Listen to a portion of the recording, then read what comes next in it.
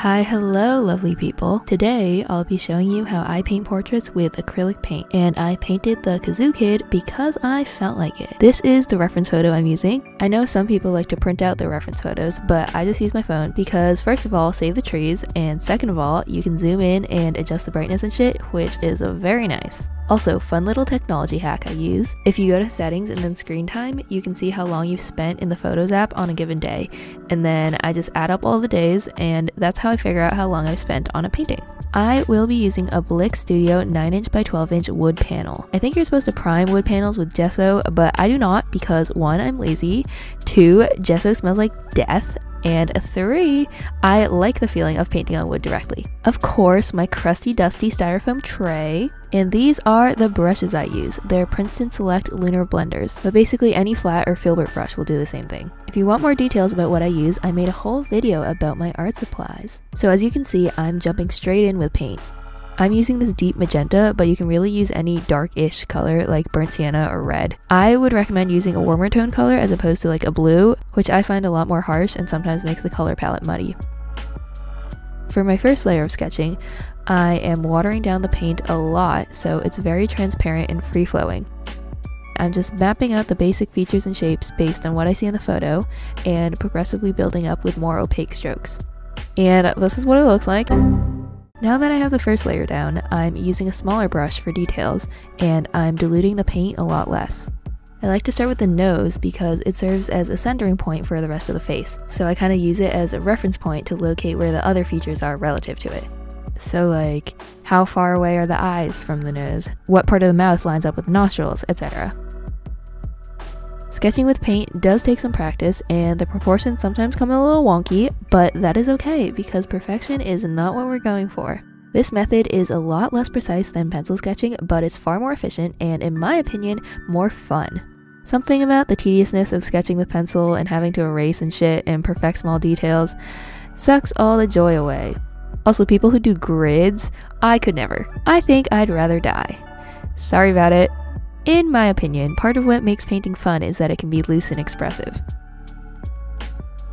So this is basically a series of constant adjustments until I feel roughly comfortable with my outline. Now it's time to add color. These are some of the colors I'm using for the background. I start by mapping out the darkest areas.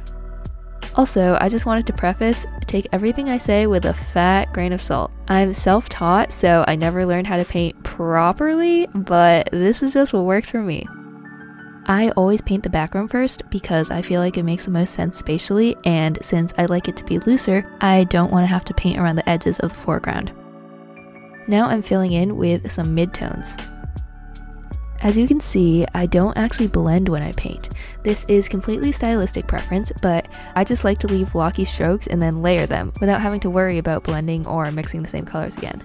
I actually like the fact that acrylic dries fast because I've learned to work within the constraints of the medium, and it also forces me to not be excessively perfectionistic, which I really appreciate.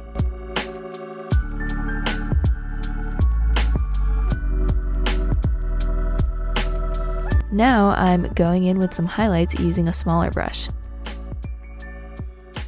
So to recap, the general premise is I start with the shadows, fill in with midtones, and then add highlights, and then layer with intermediate colors and continue adjusting as necessary.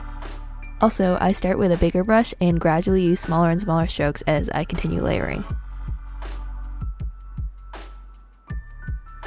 Okay, now it's time for the skin.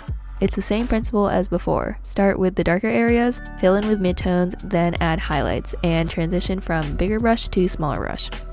A lot of people ask me how I choose my colors. If I'm using a reference, I usually just look at the photo and exaggerate the saturation. So if I see an area in the reference photo that's tinted blue, I'll make it extra blue. I also really like juxtaposing complementary colors like blues and oranges and purples and yellows.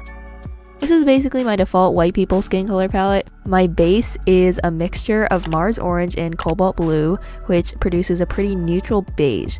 And from there, I add white to make it lighter, or more blue to make it cooler, more orange to make it warmer, or magenta to make it pinker, etc. Make sure you're constantly wiping your brush on a paper towel or the edge of your palette so your colors don't get muddy.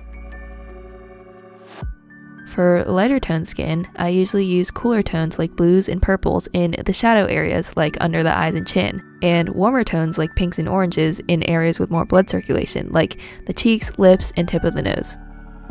A key factor in making a pale person look like they're in shadow and not that they have a darker skin tone is to use cool tones like cobalt blue whereas for painting a darker skin tone, you would usually use richer and warmer tones like browns and reds. So for pale skin, even if the value of the color might be dark, make sure you're paying attention to hue.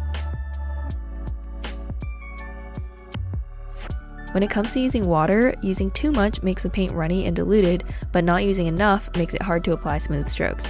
So I like to keep a spray bottle or keep a little puddle of water in the corner of my palette that I dip my brush in to keep it moist. And make sure you have a water jar on hand to keep your brushes in while you're not using them. For highlights, I usually don't use pure white because you rarely actually encounter it. Even if an area looks really bright, it's typically just relative to the colors around it. So here I'm mixing it with some of the beige I already mixed.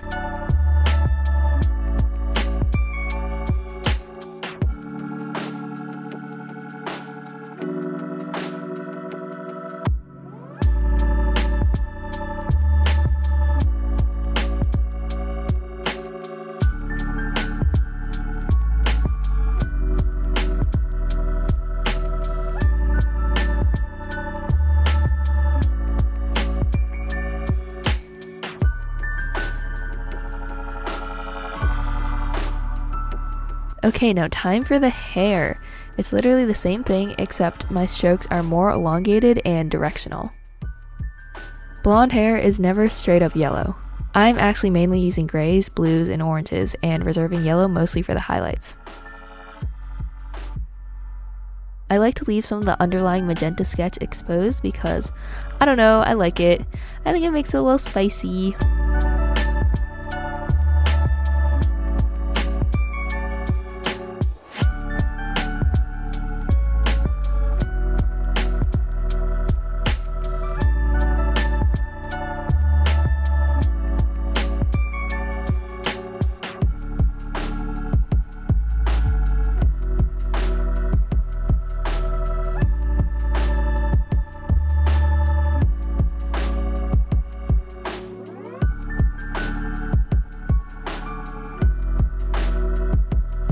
The shirt's kind of boring, pretty straightforward, pretty self explanatory. Don't forget to paint the edges of your surface.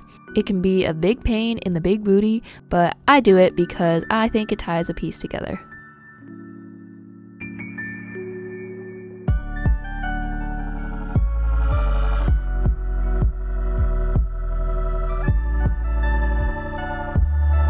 It's kazoo time!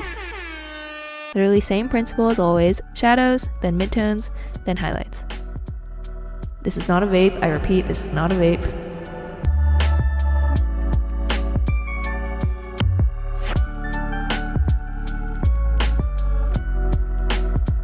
After letting the painting dry for a couple hours, I'm finishing it off with some Liquitex gloss varnish. And here is the final product.